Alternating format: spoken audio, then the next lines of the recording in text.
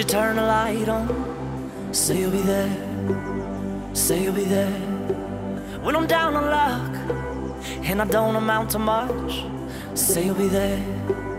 Say you'll be there. I might need a hand to hold. Today we're here with tyDi, who is the number one DJ from Australia. He's been voted the number one DJ twice. And I thought it'd be really cool to have you here um, at the mansion doing a YouTube video because I wanted to interview people from the entertainment world that were celebrities. Because one of the most popular things that people always ask is about how the, being a celebrity affects your personal life, from being like a private citizen to be a public life. And also because I'm making music now. You know, I'm, I'm a businessman, but now I'm becoming an artist. I'm making music videos. My business partner is going to be rapping with me. It's going to be super fun. That's awesome. and I also listened to your music, and I thought it was epic. Thank you so much. I appreciate, I appreciate that. I'm really a big fan of that kind of music. You know, and you're you're, you're just exactly the kind of music that I listen to all the time. You and your your buddy Nosan, because we have so many mutual friends. Yeah, yeah, absolutely. It's um, it's amazing. Like you know, it's a small world here in LA. Obviously, I'm from Australia. I moved here two years ago. Um, I was basically it was because I doing the flight from Australia to America is about 12 to 13 hours, and uh, I was I spaced myself out of out of Australia for a long time. So I would come to America and I would do three weeks of touring here. Then I would come home to Australia and I'd do have like a week off. Then I'd go over to Asia and Europe. And I was doing this so much that uh, I was spending so much time on the plane that I was like, I unpacked my bags and just went straight to LA. So uh, here I am. But what's really beautiful about the music industry is that um, everyone's connected, you know, and uh, I thought it would be kind of a lot harder, harder than I thought to, to, you know, to move out here and meet people. But so many people are connected, like you just said, you know, that like uh, it's, it's, it's, it's very easy to, to make friends and start a new life out here.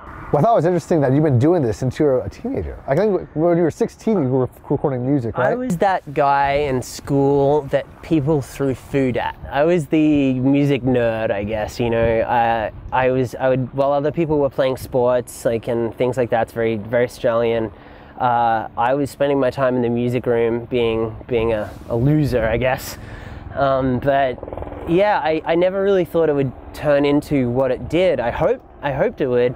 Um, I was very much into like composing and classical music. Even after high school, I went and did a degree in uh, in music, and um, yeah, so it's it's interesting that um, it, it went that way.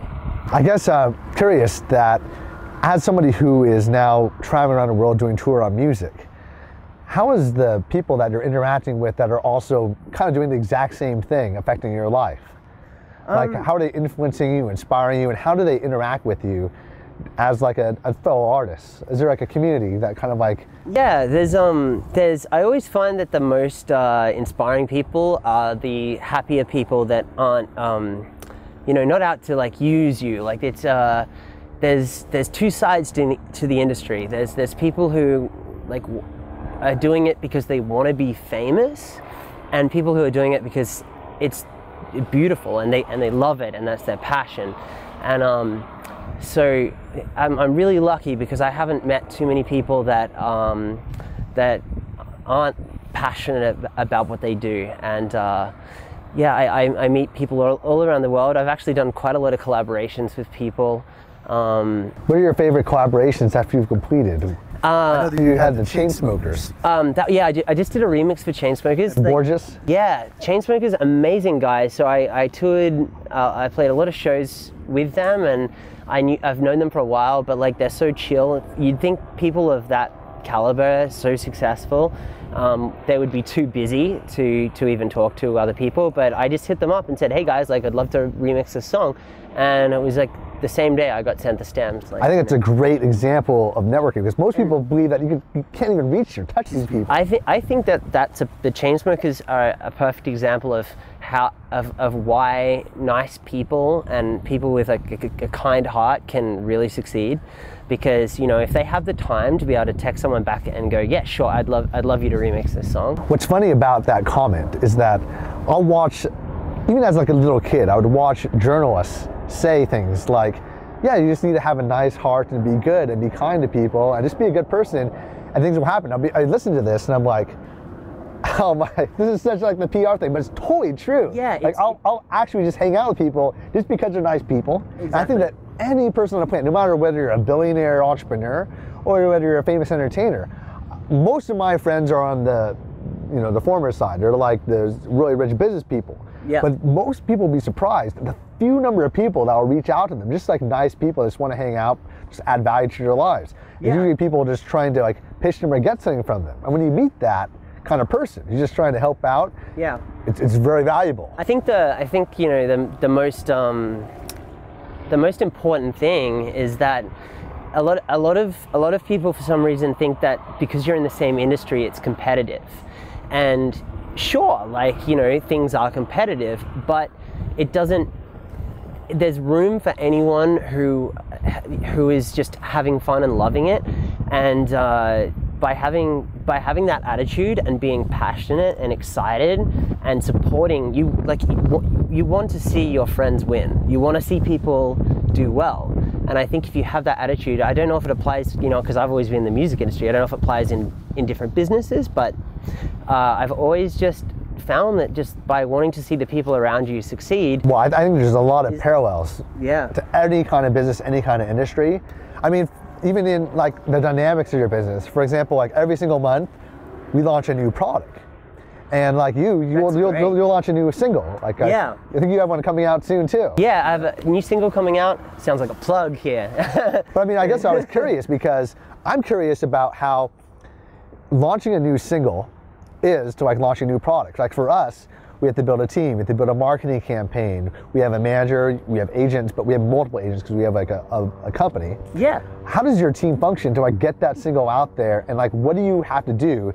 I know there's the content, there's content creation, and then there's the marketing promotion around it. How does how does all that fit together as a puzzle? It's um, it's something that uh, yeah. So I, I have a team of people. Like I have a manager, I'll have a publicist, um, I have a booking agent, um, and then the collaborators I work with. So the new singles just coming out with um, an artist named Morton, and he's an incredible person. And uh, also Cameron Walker is the vocalist, so he has his own management, and all of these people have to work together to make a successful product but it's in everyone's best interest so you know while while you have the creatives who produce and write the song then you have the management who are working out the uh, the appropriate business strategies and then the publicists and all that. And it's i guess you know that, that that's the, very important to make a successful product. And um and it's just great to have like people who enjoy working together on something like that. And everyone has the same focus the same vision. And um, yeah. I think it's cool that you're working on the collaborations. I think it takes for some artists forever just to realize that they should collaborate with other people. yeah collaborations are really really fun because uh, so i've released a ton of singles on my own. But what's cool about collaborations is that you can take inspiration from someone that uh, you know like for example morton the new single that I've, i'm just doing is called sharpest weapon. And uh, i've never worked with morton before this song but loved his music. And he brings something to the table that i wouldn't have thought to do. And uh, it comes at you get this kind of like hybrid product that people uh, that's kind of surprising when two different people from two different scopes work together you get magic. And the same thing happened with the Borgeous record you know? I've, I've always loved his music uh, and um, I've played a lot of shows with him and uh, we, we decided to collaborate on the track and it came out this really cool kind of hybrid between like what he's into and what I'm into and yeah so collaborations are super super important Now, I, I guess in the entertainment world, I, I know that like we're kind of like an infotainment, so we're not quite, we're not quite crossing the border between, you know, information, infotainment, and entertainment. We haven't crossed it yet. We, we will in the future, but I guess I'm curious that being just like as an entertainer, you know, I view you as an entertainer. I try yeah. I try to entertain I guess I'm curious, like, how your personal persona has changed over time. Has it actually changed? I know that It can. So like, um, I like I said. So going back to the beginning, I, when I first started being an artist, it was interesting because I was this kind of like high school music geek who wasn't that confident. And to be honest, I'm still like very self-conscious of like if I'm that good or if I, you know, where I need to improve.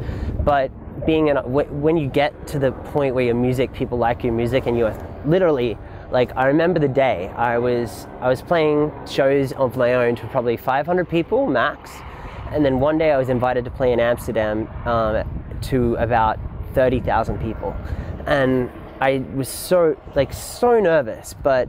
Uh, when you get kind of get up there, I, I remember actually turning to the stage manager and I said, I need to take my shoes off. And he was like, Why? And I said, Because I just need to feel like I'm in my living room because I was so used to just DJing to nobody in my living room. and awesome. so I took my shoes off in front of about like 20, 30,000 people and I just felt at home and comfortable. And, um, and I still to this day, like, admit that I'll get up and play shows to 50,000 or more and I'm nervous but it's the good nervous. It's not like nervous that I'll mess up. It's nervous like it's intimidating to be in front of that many people and perform. Uh, but it's that rush that also drives me to try and be better as an artist. But I think where the where it could fall down for some people is when that goes to their heads, and then they it an ego is created, and uh, I don't know. I, it's I guess for me personally, it's very important in both business and in being an artist to to drop the ego and to realize that you're just one of these other 50,000 people and when you're playing that show you're playing to yourself you want to hear what you would it, you've got to put yourself in the position of someone in the crowd of any of those people and and play what you would want to hear and uh and I think yeah, when you separate yourself from the potential ego that can come from being an artist, that that's when you can really hit some amazing things. So that's uh, an epiphany for me. I'm going to remember that. I think that in the future, uh, I mean, we'll do events and viewing it as a team. I think is really awesome. I think that will also help your culture for your fan base. So I think that's really cool too. Yeah, it's it's um that it, was it was something that um I've seen, I think all the most successful artists that I'm friends with and I, I know are just the same people that they are if they were just chatting like you and I and they're the same on stage. A lot of the successful artists that I've been hanging out with for the last three to four months, you know, they always seem to like post on social media about how busy they are. And I know that like in my world, like I have a certain amount of busyness, but it's involving business tasks. I might be involved in meetings and golf might be involved with the creation of content for my videos or my channel. What is it that entails your busyness and your busy life, and how busy is it? Um, yeah, so for me, I'm I'm I'm very focused on like I'm I'm very involved in the writing process. So there's a lot of ways about approaching a song and that can be like you know someone sends you a song and then you produce it. I like to be a part of everything. I'm a songwriter, so I will spend a lot of time just playing piano and working with a, a vocalist on getting the best it's called a top line so the best like the best vocal we can get over the best chords and i wrote about 300 songs and this is like i'm not kidding you i spent three years and made about 300 songs to get to my album called redefined which is 20 rec- 20 songs in total. And 20 is a lot for an album. But so people would assume that that's like I, I released everything, but there was 300 songs that I wrote and had to cut down to 20 to get to that record. Um, so yeah, when I post on, on socials, I guess it's just being in the studio, playing piano, writing songs, and sometimes it's just silly things, you know, uh, um, you know, on tour or like being on plane flights and things like that. So how much downtime do you think you have for your, your life? I mean, being a, a world traveling artist, I imagine like so much of it's scheduled. Yeah, it, it's it is, but it's um the good thing is, and I, why I feel so like blessed with this career is that the it doesn't feel like downtime. Even like I enjoy the work and it, it so much. Like like I always always wanted to when I was from age 16 to now. I wanted to perform and I wanted to play music, and now that I actually live that, it feels like I'm, it's always downtime. the hardest part for me is the flights. It's just like, that's the bit where I'm sitting in this plane with people around me and I can't work. I can't, or I can't like, you know, maybe I can make, I can kind of write music on flights and I, I often try to, but that's the time when I'm like sitting for about 14 hours sometimes just on a plane. But everything else is like, you know, you arrive at the destination, you get to meet new people, you get to see this beautiful place, and then play a show to all these loving fans. And then when you get back to like now, I'm based in LA. I'm, I'm it's not work. I'm not. I, I don't feel like I'm ever working really. I don't, Yeah. it, and it's it's I, it reminds me of uh, what I did in 2008 and 2009. I went on a tour of 110 countries. Now I was doing seminars. 110 countries. Yeah, and How in long? fact, I did 270 cities in 70 countries in six months, where I did one to three events per day. I think you beat me. But I mean, but it wasn't music. It wasn't just entertainment. It was more about teaching guys on how to pick up girls, showing hidden camera videos, and breaking it down like Manny critiquing a football game. Can I ask you questions? What are your biggest secrets? Like, yeah, yeah, yeah, you said you like teach people on how to pick up girls. Oh yeah, my, my, my business partner and I, so we created this company called Real Social Dynamics, where we teach guys how to pick up girls. We go out to bars and clubs, we have hidden cameras, we break down what they did right and wrong and telling them what to say, what to do while they're actually in bars and clubs. Wow. We charge $2,000 a week in the boot camps. We have an immersion program called Vegas Immersion. That's amazing. 2000 a month living in Las Vegas doing that same thing. So I was probably that guy in the bar doing it all wrong. But you know, 99% of people don't even approach the girl. So I mean, the fact that you even tried, that's kudos. Uh. But Maybe DJs are a little more lucky. I think it's like you know, the, hopefully, like the, you know, I'm saying too much, but you know, the, Well, I think the- that- the people approach us. that helps a lot. I mean, I think I think that it, it definitely happens. There's definitely an effect for that. I mean, you're you're in the club, you're up there, everyone sees you, they give you props. It's kind of like how a, a fan should be treating you. but then if you go out to like a regular regular pub, some people may recognize you, some people may not, and then you have the advantage of being normal. For example, um, one of my friends and a close uh, advisor for me is uh, Tony Hsieh, he created Zappos and sold for a billion dollars to Amazon. Now he's based in Las Vegas, so he goes out to the bars and clubs. Everyone knows who he is. So if he wants to say hang out with our guys, if he wanted to go out to the bars and clubs, he'd have to do it in a different city like Miami. So he couldn't be treated differently. So he could learn the skill sets, and it's, it's useful skill sets because I think that the skill sets of understanding how to do two things, like the inner game of losing outcome dependence and knowing that you're going to more likely get success when you're not caring about the result too much. You're more free flowing. You're focusing Yeah. just mostly on you and your passion of who you are, conveying who you are.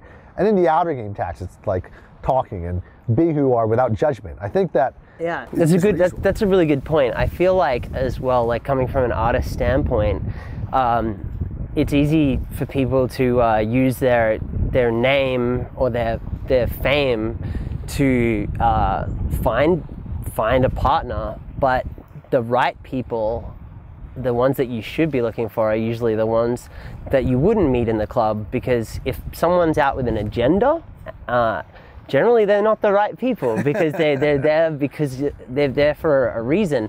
But if you um, if you don't tell people what you do for a job or you don't like play on like you know like hey I'm tyDi and da da da, then you know you have a better chance of meeting someone. I mean, even when I was a kid, I used to read or watch TV shows and entertainment news was on TV. I would see famous artists marrying people and you didn't even know who they were. So I was always wondering, why would they marry them? Are they marry this other celebrity that's super awesome I see on TV? And then as I started to understand the ways of the world, I was like, well, they, they do it because, you know, you want to have people around you that you genuinely like, no matter who they are. I mean, if you look at your entourage or if you look at the people who follow you, you're not necessarily all famous people. There's people that you trust, you like, same core values, and it kind of sticks with you from your childhood to your adulthood. That's a good point as well with um, even just songwriting. So like um, from living in LA, it's very easy to for me to say to my publishing company, put me in a session every day with new people. But I always find the best songs that I've ever written or that ever come, like get released are the ones that happen where it's by someone that I've met that's just they didn't have an agenda and they were just very nice. And I'm like let's just have fun. Let's like have a drink or two and just try and write something. And we do it without any purpose or any kind of like end game. And that sometimes in 4 hours that can be the biggest hit you know? I think that's also going to be that core belief of trying to find people without an agenda. I think that's like a human need that people just want to have. Yeah. I think that people lack that in business and the mainstream media and journalism, and I think that that's all going to disappear in the future because you have the internet, social media, the, the growing evolution of VR and other technologies. uh, phone apps. I think that more and more that's going to push people to be more towards that movement. And I think that's going to also affect all of our relationships with how we interact with people. Absolutely. I guess I'm curious about how you personally will use social media, how you use technology in your day to day life. It's um, yeah. So with me and social media, it's uh, it's never really planned, you know. um, and I do understand that sometimes the best way to sell a product is to have strategy and plan things. But some of the most successful things have come from me being real. I find that I find that my fans that have stayed fans for a lifetime, like for as long as I've been doing this, are the ones that like they always mention things that I never meant to post. Like maybe like one day I've accidentally like I put something on Instagram that I thought was funny or just like was actual real life and it's gone to Facebook by accident or I've done like a live Facebook chat maybe after a few too many drinks or something and the things that I never thought that I should mention or didn't mean to are the things that people latch onto. They were like, there was this one time where I I had I had maybe a few too many drinks, and I decided I would cook a, a, a combination of an omelet with vegetables. I called it vegetables, and I was drinking vodka and cooking this thing, and I live streamed it like a cooking show, and that was something that I was thinking I'm gonna wake up and really regret this, but it went so well, and everyone was like talking to me at shows about that. Like I remember this thing you posted this, and so I I, I think that um a lot of people are scared to just post their real life. Like they they think they have to have a very exact tactic, you know. Um, and the things that have worked for me the most have just been being myself. I think what people want these days because they're so used to hearing what like you know they're so used to hearing scripted things like the perfect artwork, the perfect the per, the best produced song that that these the new kids these these days are wanting to hear like the rough stuff. Like here's something I'm working on, or here's the time I played this melody and I didn't do it exactly right, but it came out cool and it turned into a song.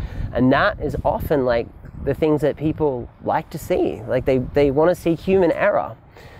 And I relate this to an orchestra. You know, like uh, if I'm composing for a, a massive orchestra. Uh, the thing that makes it so beautiful is often the human error. It's it's not that everyone's perfectly on time. It's that every instrument is slightly a little bit uh, detuned and everyone's a little bit, there's that bit of human error and it makes it feel real. And I think that applies to everything in life. I think, well, I, th- I think that's why music like dubstep is very popular. It's like a little quirky. It's not typical like classic. Yeah. Yet it still captivates people. Um, I don't know if you know, um, Nick and I have a mutual friend named Harvey and he created a Hennessy cooking show. Do you know this guy? Uh, so he basically, this is a guy who created a video of him cooking a chicken with Hennessy. Okay. And, he, and he also is an artist, so he performs music. Okay. But he does it in a Versace bathrobe. anyway, that's so badass. He, he, he, just put so much personality in cooking this chicken, which lights on fire. It's Hennessy in the stove. It's it's burning, what have you. But the thing is, he's gotten an audience just wants to know his personal life. They just want to know you as a human. So much so that he had a video where he just turned off his um, turned off the lights and just had a dim light in the background and just went to sleep. And thousands of people, I think it was something close to 100,000 people, were watching and commenting about how he was sleeping.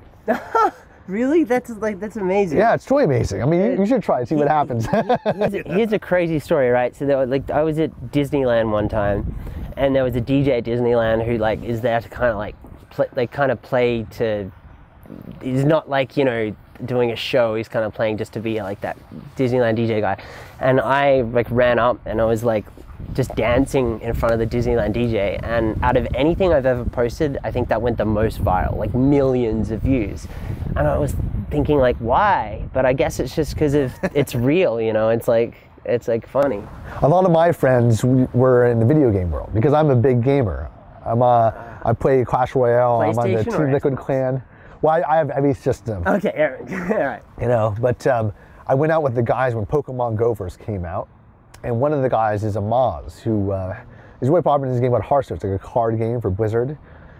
and we were playing Pokemon Go, and there was over hundred thousand people following us, and he has like millions of subscribers on his on Twitch, which is like kind of like a YouTuber for the gaming. Yeah. And I thought that was amazing, just to watch us play Pokemon Go. It's not like action based, but just see his personality I- while I've he's catching played Pokemon. Go. Yeah. I like Pokemon Go. There's these people. Like, is it true? People are like uh, on on like highways playing the game. Like, Hey, I, I've done that. you know what? Uh, the craziest Pokemon Go story I've ever had was I went to a park and I was playing Pokemon Go, but I was the only adult. So everyone else was children. the problem that I faced was that suddenly out of nowhere, every entrance to the park had SUV cop cars. And then I had I, the, the manager of the park comes by and starts yelling at the kids. And it's like, kids, get over here now. And then I hear him yelling to the cops, I don't know that guy. And, then, and, then, and, then, and they're like, what is that guy saying to you? What is he doing? Because these kids can come up to me, giving me tips on how to catch Pokemon better. You're He's like, oh, he- he's just playing Pokemon, Go. man." you know, and all these little kids coming by. you know, it's so weird. So I was like, okay, I guess I'll leave now. And then actually, my coincidence had dinner with my attorneys. He's like, whoa, that's some crazy stuff, you know?